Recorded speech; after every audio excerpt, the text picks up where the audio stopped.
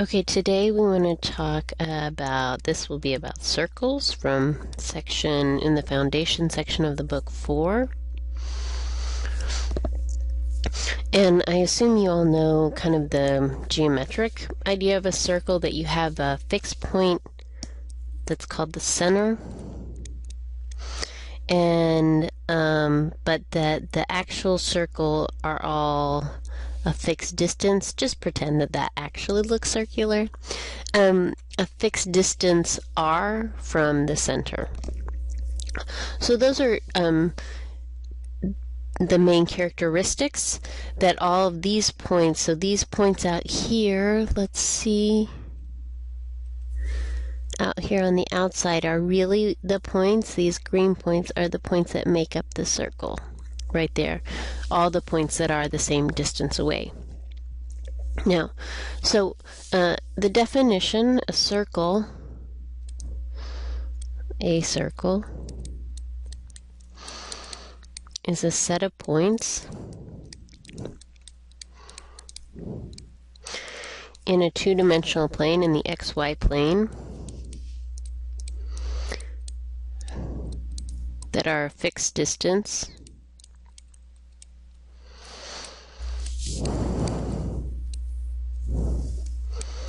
r from a fixed point, which we usually call the center. And we denote the center by h comma k as a point. Okay. Uh, and we do use these terms like this is the center, this is the radius of the circle, right? R is the radius. Okay. And so we have this idea of um, this distance formula, and we have, so for example, I have this distance formula that we developed x, um, let's say 2 minus x1 squared plus y2 minus y1 squared, and then that's distance.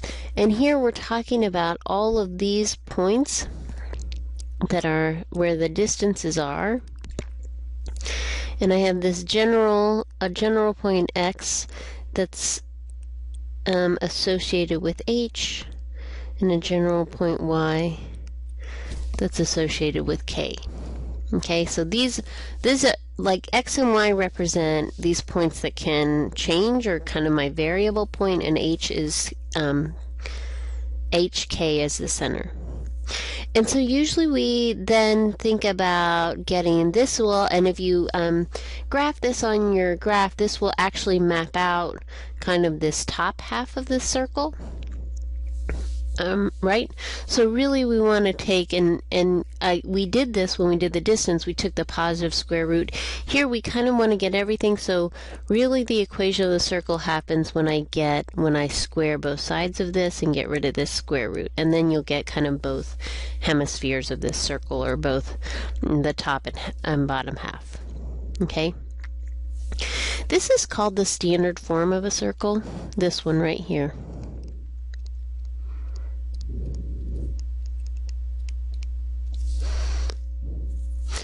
Okay, so an example of this.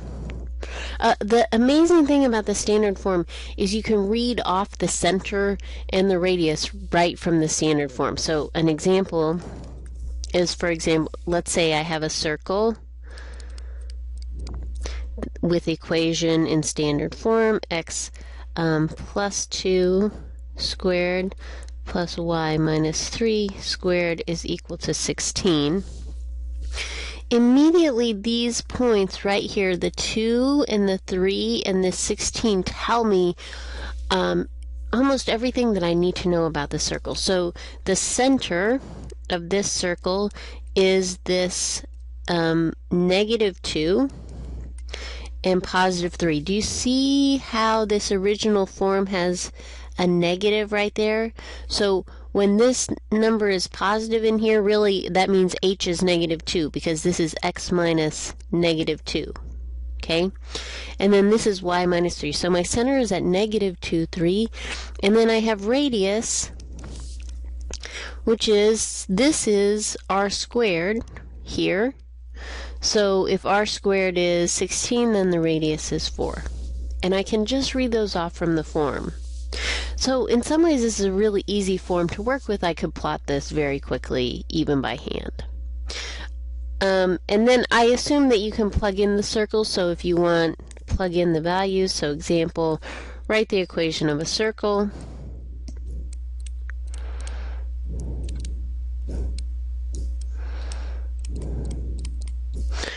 with radius 2 and center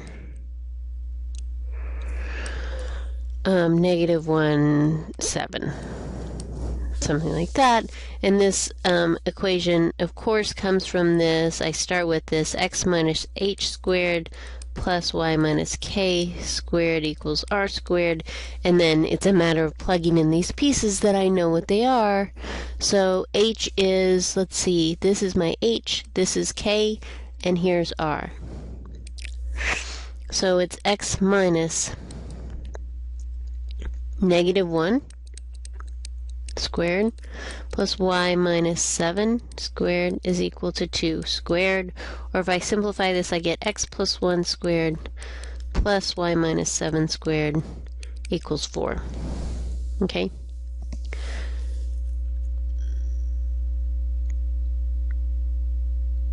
Okay, so there's another form to circles which we sometimes encounter them in, um, which um, so if I don't know something about, or sometimes they occur, so for example, I can actually FOIL these two things out. So, and let me do that. So let's say if I FOIL these two binomials out from here, so separately, I would get x squared plus 2x plus 1, y squared minus, and let's see, it's minus 14y plus 49, I think. Check my math on that is equal to 4. Um, and then you can see um, this kind of, if I combine all of these numbers that are floating around, x squared plus 2x plus y squared minus 14y, and then I'll have a 49 plus 1, which is 50, uh, but minus 4. So I think I get a plus 46 is equal to 0. This is another form that we sometimes encounter circles. It's called the general form. These uh, names are not general form. They, they're not very descriptive, I don't think, for circles. Um, so it, this one is less useful or less easy to work with. Um, now,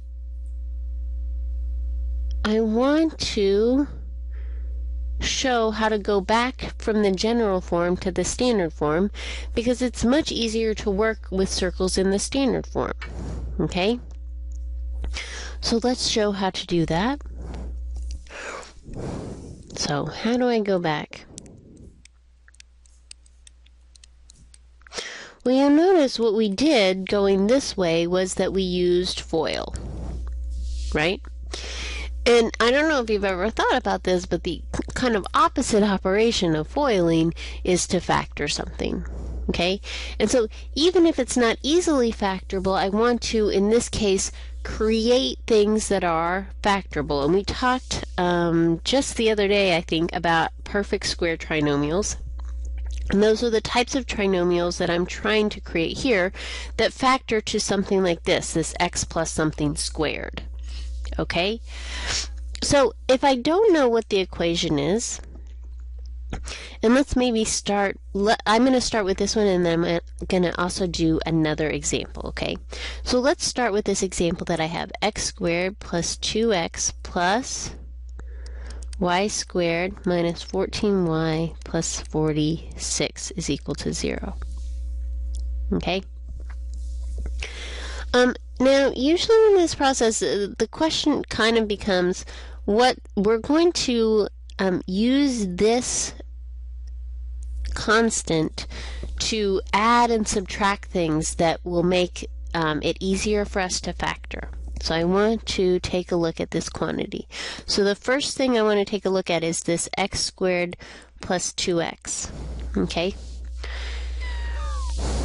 Now, we do this process called completing the square.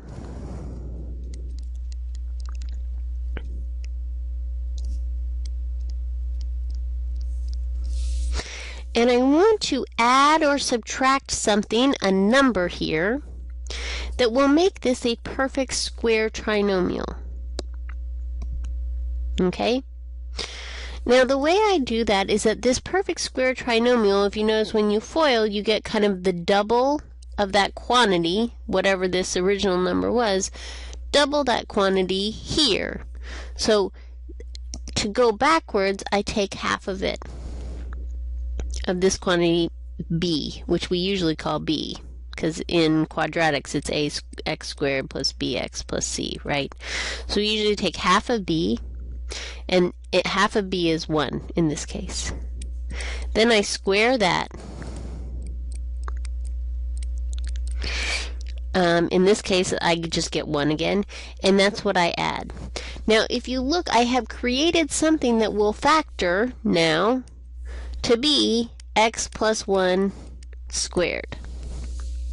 Okay?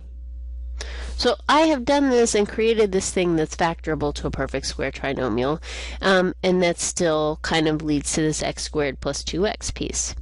Now, I can't ignore the fact that I still have this other stuff in my equation, and that I have added something right here, right? And I have an equal sign in this equation, so when I add 1 to the left side, I also have to add one to the right side. So right now I'm at this step stage. y squared minus 14y plus 46 is equal to now 1. Okay? Okay. Um, okay, so, and you'll see some people have a real preference to bring this constant over to the right side at the very beginning of this process. You can do kind of whatever you want to with the constant. Um, but but that you'll see that approach in in some presentations.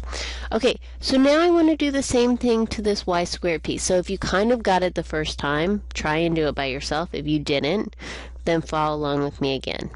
x plus 1 squared. Okay? And then here's my piece that I'm going to kind of work with. Y squared minus 14y. And then I have to add something. The thing that I'm going to add, I take this b piece I half it and I get negative 7. And then I square it to get 49. And so I have to add 49 right here. Okay? I still have this plus 46 and I still have 1. And because I added 49 here, I also have to add 49 on the other side. Okay, and now I'm going to factor. So I have x plus 1 squared plus, and I factored this now trinomial, which is in blue, y minus 7 squared. I still have a plus 46 and equal to 50 on the other side. And if I move the 46 to the other side, I should get x plus 1 squared plus y minus 7 squared is equal to 4.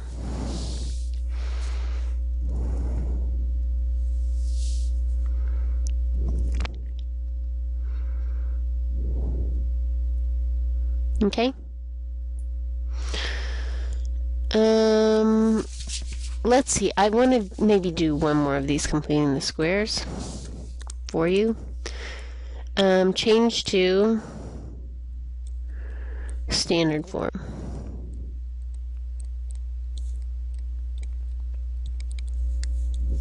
And I'll say it's x squared plus y squared minus 2xy, 2x minus 4y minus 4 is equal to 0.